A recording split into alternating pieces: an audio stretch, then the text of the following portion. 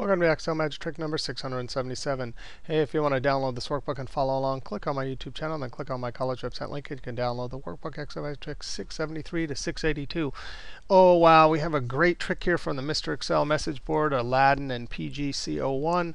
Provided some great formulas. Now, this setup, we have some players, their scores, and their dates. And all we want to do is for each person average their last three. So if we're doing Kate, you know, Kate has a bunch of scores here and dates.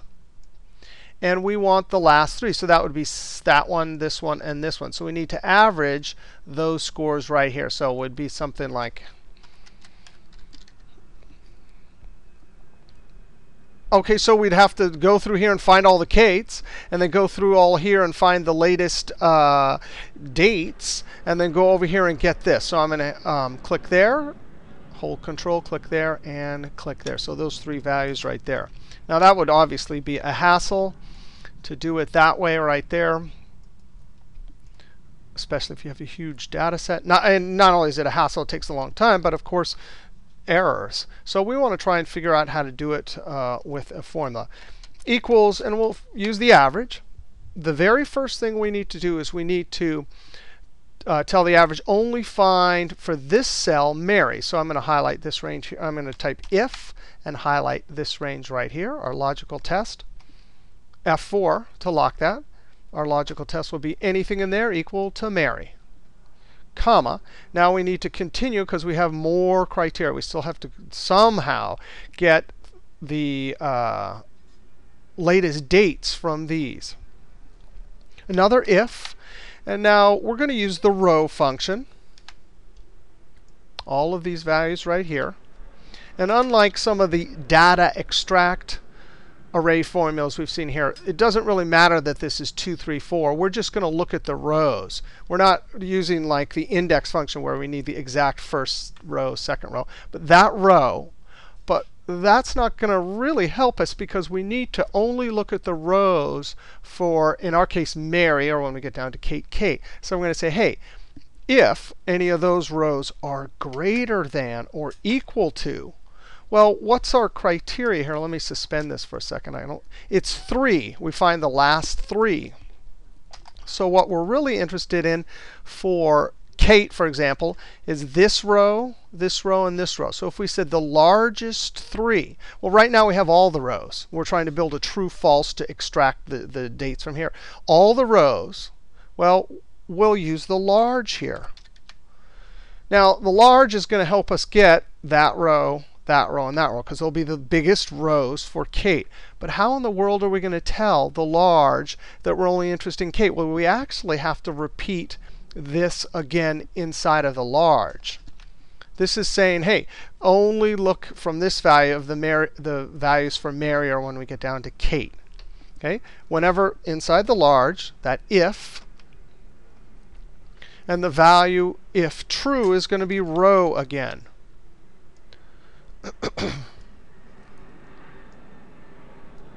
and then F4 to lock it. Now, close parentheses on that. And that's the array. And that'll, if we highlight this, it, this is all inside the large, and hit the F9. We can see, oh, we have all those rows. For, so Mary has 4. But what do we want? We want to get the third largest, which would be 8, right? So for Mary, it would be 8, 9, 10. Control Z. And this column is sorted.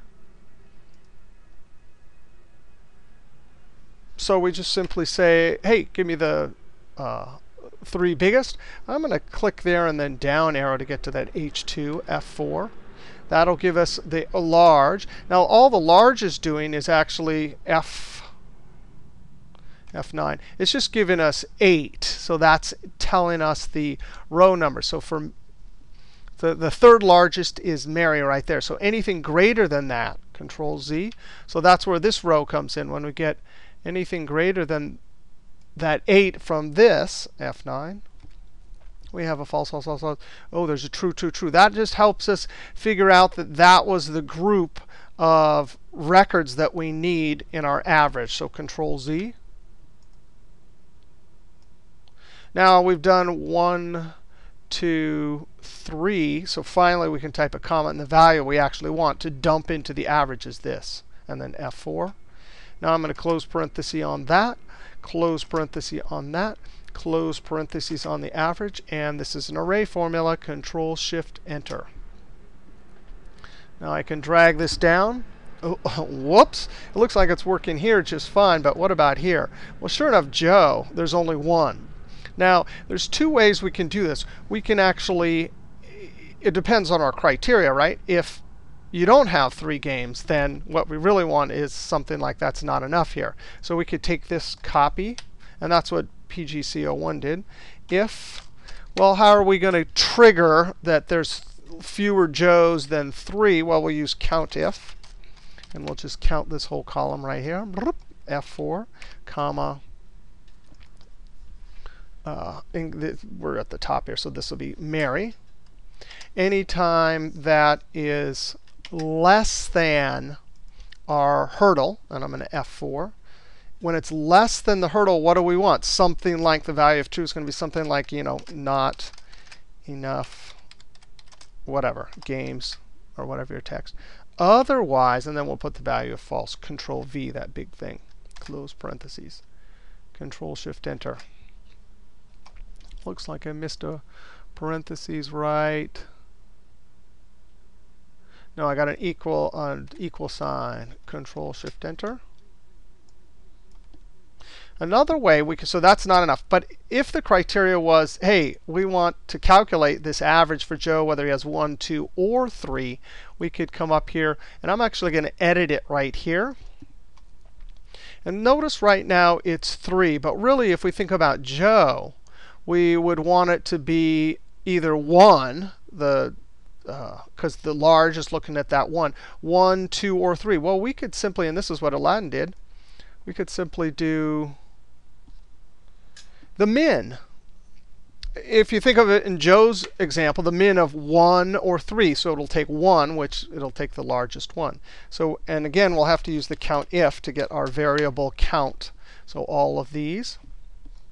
F4, comma, and I'm editing in this one, so I'm going to click there. So right now, COUNTIF of Joe just gives us 1, right? F9, Control Z. So, and then inside of the min, we want to put comma or this one right here, F4. So it's the min of those two. And then close parenthesis. I think, uh, OK, so that is the K. That should work right there. Control Shift Enter, and then drag it up. Okay, so uh, averaging the last three. Um, one assumption there, another assumption for uh, your criteria of whether to take the three or not. And uh, we'll see you next trick.